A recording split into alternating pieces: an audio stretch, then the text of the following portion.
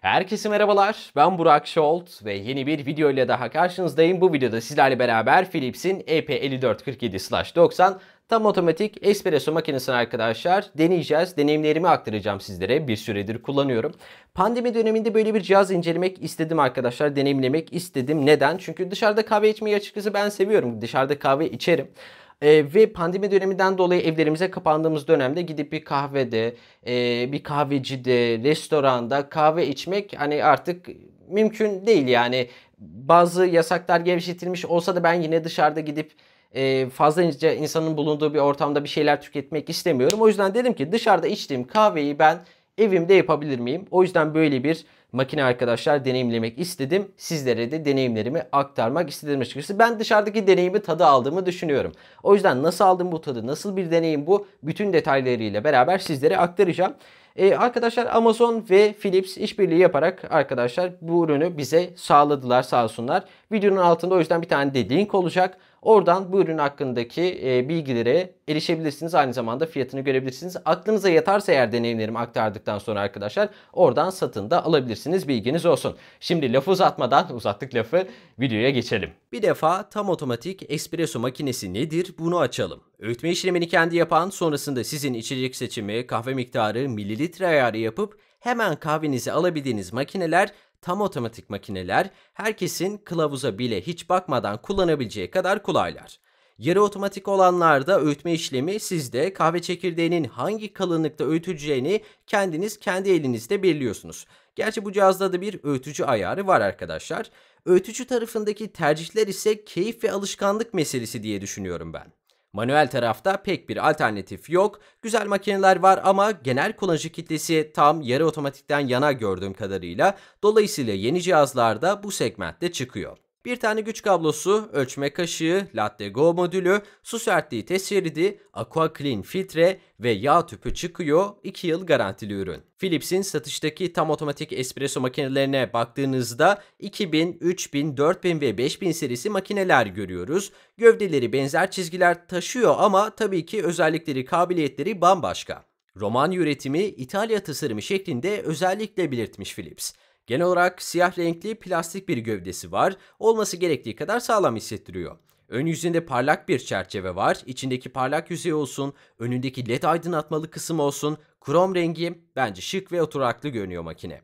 Kahvemizi aldığımız başlık hareketli. Espresso bardağı kullanırken aşağı çekin, fincan kullanırken yukarı çekin gibi gibi. Sağ sola sıçramıyor bu şekilde. Bir şey sıçrasa dahi aşağıdaki damlama tepsisine gidiyor zaten. Burası tamamı çıkarılabilir bir hazne. Çıkarıp boşaltması, geri takması hayli kolay. Kahveden arta kalanlar da burada ayrı bir haznede toplanıyor. Üstünde çekirdek öğütücüsü ve haznesi var. İster öğütülmüş toz kahve koyun ayrı bir kapağı var bunun için. İster kenarları silikon duvarlarla kaplı çekirdeğin fazla havaya maruz kalıp bayatlamasını engelleyen Philips'in aroma seal yani aromayı koruyan kapağını kaldırıp haznesine çekirdek kahve koyun tercih sizin.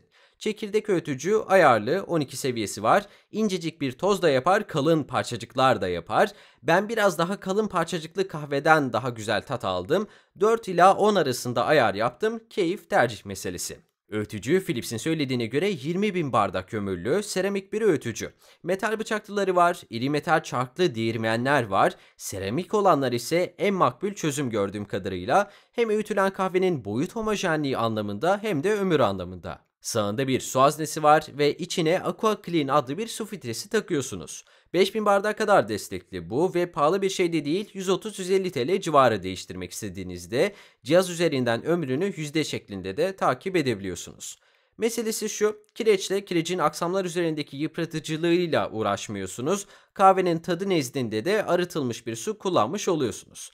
Kahve üreticileri de su ne kadar yumuşak olursa kahve asitleri, asiditesi o kadar ortaya çıkar şeklinde özellikle vurguluyor. Yani kaliteli su kahvede oldukça önemli bir şey. Philips e EP5447/90'da benim en çok dikkatimi çeken şey bu ekran oldu. Neden arkadaşlar? Bir şeyin üzerinde ekran varsa sizinle daha çok etkileşim kurmaya çalışıyordur. Yani bir editör olarak elde ettiğim deneyim bu. Senelerce bilgisayar donanımları, mobil ürünler incelemiş birisi olarak işin içine ekran girdiyse sizle görsel bir etkileşim kurmaya çalışıyordur. Sizin işinizi kolaylaştırmaya çalışıyordur çoğu durumda. Ki bu makinede de öyle. Neden? Bir sürü çekirdek var, bir sürü öğütme çeşidi var, bir sürü demleme çeşidi var bir sürü oran var. Kahve, su oranı, latte, süt oranı. Yani gerçekten dışarıdan bakınca şunu dedirtiyor size. Yani birisi yapsın da bari ben parasını vereyim içeyim dışarıdan. Yani ben bunu yapamam gibi gözüküyor. Ama bu makine arkadaşlar tam otomatik olunca İşin içerisinde bir de işte öğütmesiydi şuydu buydu. Yani bunlar zaten tam otomatik olmasını sağlıyor. Bir de ekran olunca sizi yönlendirince adımları böyle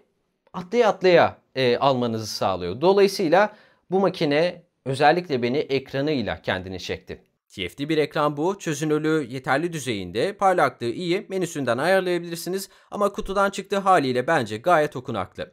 Kahve yaparken sıcak buhardan dolayı buğulanması bir sorun değil bence. Açıya göre görünürlüğü daha önemli. Bu konuda hiçbir sorun yok. Kurulumu hayli kolay. Yanındaki su tankını maksimum çizgisini geçmeyecek şekilde dolduruyorsunuz. Cihazı açıyorsunuz. Dil seçimi yapıyorsunuz. Şimdi su sertliğini ölçmemiz gerek. Kutudan çıkan şeridi suya bir saniye tutsanız yeter. Renk değişimine göre su sertliğini cihazdan seçiyorsunuz ki suyun sertliği kalsiyum ve magnezyumdan dolayı kaynama noktasını değiştiriyor arkadaşlar. Doğru ayar içeceğin sıcaklığı için çok çok önemli. Sırada Aqua Clean'in takılması var. Şöyle bir 5 saniye sallıyorsunuz kendisini. Sonra tam batacak şekilde suya batırıp suda baloncuk görmeyene kadar tutuyorsunuz içinde. Çıkarıp su haznesine yerleştir, suyu doldur, hazneyi makineye tak, aktifleştirirsin ve bitti. Artık kahve yapmaya hazırsınız. Kardeşleriyle arasındaki en büyük farklardan biri Latte Go eklentisi ve sunabildiği toplam içecek sayısı. Sadece sıcak su ve köpürtülmüş süt de bu içeceklere dahil ama liste şöyle. Espresso, kahve, americano, cappuccino, latte macchiato, flat white, sütlü kahve, kafe latte, kafe krema, ristretto, espresso lungo ve seyahat bardağı. Bu kahve termosu kullanıyorsanız hali hoş. Misal veriyorum espresso veyahut kahve yapacaksınız. Bunlar için atanmış butonlar var. Aroma seçimi yapıyorsunuz. Bu 5 kademeli en üst kademe ekstra shot olarak geçiyor. 2 defa kahve ötüyor ama ikincisinde de 2 kadar kahve ötüp çok azını kahveye eklediği için pek ekonomik değil. Mililitre ayarından değil arkadaşlar denedim. Ayrıca bir tık altı ayardaki ile benzer bir aromada oluyor. O yüzden bir tık altını seçtim ben hep. Bardağınıza göre içeceğiniz miktarı seçin. Kullandığınız bardaklara göre deney yanıl yapabilirsiniz ilk zamanlarda. En üst ayar benim fincanlarımı dolduruyor. İki bardağı aynı anda hazırlayabiliyorsunuz. İki kişilik kahve alabiliyorsunuz hemen. Bir fincan kahve gördüğünüz gibi kısa bir sürede hazır. Peki ya Burak, hangi kahve çekirdeklerini kullandın diye soracak olursanız, Roasting Lab'in 1 kiloluk Etiyopya ve Kenya Niyeri kahve çekirdekleri vardı bende ama daha çok filtre kahveye uygun çekirdekler bunlar arkadaşlar. Dolayısıyla kendilerinden rica ettim sağ olsunlar 250 gramlık Goodfellas Espresso Blend ve Colombia Supremo Espresso kahve çekirdeklerinden yolladılar bana. Ben de mümkün olduğunca fazla kahveyle test yapmak adına Miskokar'dan karışık bir paket aldım. Bunlar 40 gramlık benim tanesinden 4 fincan çıkarabildiğim Etiyopya, Costa Rica, Nikaragua, Kenya gibi yaklaşık 10 kahveden oluşan bir paket. En çok merak ettiğim şeylerden biri de şuydu. Her kahvede farklı bir tat, bir aroma alabilecek miyim? Beni bir kahveden diğer kahveye koşturacak bir tat deneyimi olacak mı? Kısa ve öz cevabı şu arkadaşlar. Evet, kahve temel tadını çoğunlukla koruyor ama alt tatlar değişiyor, alt tatlar geliyor. Ötücü ayarını çekirdekten çekirdeğe deney yanıl yaparak farklı tutabilirsiniz ama ben genelde dördüncü kademede bıraktım. Önce dediğim gibi espresso değil de filtre kahveye daha uygun çekirdeklerle başladım. Başladığımı zannettim. Bir şeyleri daha yeni öğreniyordum ve takdir ederseniz hepsi çok çok uygun değildi. Bir kısmı keyifliydi, bir kısmı çok çok uygun değildi. Ve espresso'nun yapılış şekli farklı zaten arkadaşlar. Espresso daha çok basınçla, filtre kahve daha çok demlemeyle tat kazanan bir şey. Dolayısıyla Roasting Lab'in Columbia Supremo ve Goodfellas blend çekirdeklerini aynı zamanda da Miss Cooker'ın Espresso Perfect Blend'ini test ettim. Columbia Supremo paketinde de yazdığı gibi içerken değil ama yudum aldıktan sonra ağzınızda bir meyve tadı bırakıyor. Tabii ki şekerli bir tat değil bu. Öğütme ayarına göre bu tat, bu aroma değişiyor. Aslında tüm denemelerimde ben bunu gördüm. Çekirdeğine göre öğütme ayarı ki 4. ila 10. kademe arasında denemeler yaptım aynı çekirdekte aromayı değiştiriyor öğütme ayarı. Goodfellas Blend ve Espresso Perfect Blend gibi alt tatlardan daha çok kahve tadı daha yoğun olan, asiditesi kıyasla daha düşük kahvelerden daha çok az aldım ben açıkçası ama kahve konusu gördüğüm kadarıyla çok kişisel ve damak tadına göre bambaşka yorumların yapılabileceği bir konu. En nihayetinde ben Afrika tatlarını ve Güney Amerika kahvelerini damak tadıma daha yakın buluyorum. Biraz daha yumuşak içim tercih ediyorum. Latte tarafı tatlı tabii. Burada kullandığınız kahveye dikkat etmek gerek. Hepsi süt ile güzel bir sonuç vermeyebilir. Süt köpürtme başarımını merak edebilirsiniz. Gayet güzel köpürtüyor. Kaşıklayıp yemelik bir köpük üretebiliyor. Süt ayarını yapabiliyorsunuz. Ayarı var. Ben açıkçası karamel, karamel şurubu alıp bir kahve dükkanındaki karamel macchiato'yu evimde üretmeye çalıştım. Benzer bir tat yakalayabilmek mümkün arkadaşlar. Doğrusu sertlik ayarı, doğru kahve, doğru süt hemen değil belki ama deney yanıl yapa yapa o noktaya ulaşabiliyorsunuz. Ağırlıklı olarak kahve yapmakla birlikte tüm içecekleri denedim arkadaşlar ben. Berraklıklarını özellikle Americano'nun berraklığını merak edenler kendi gözleriyle görebilirler.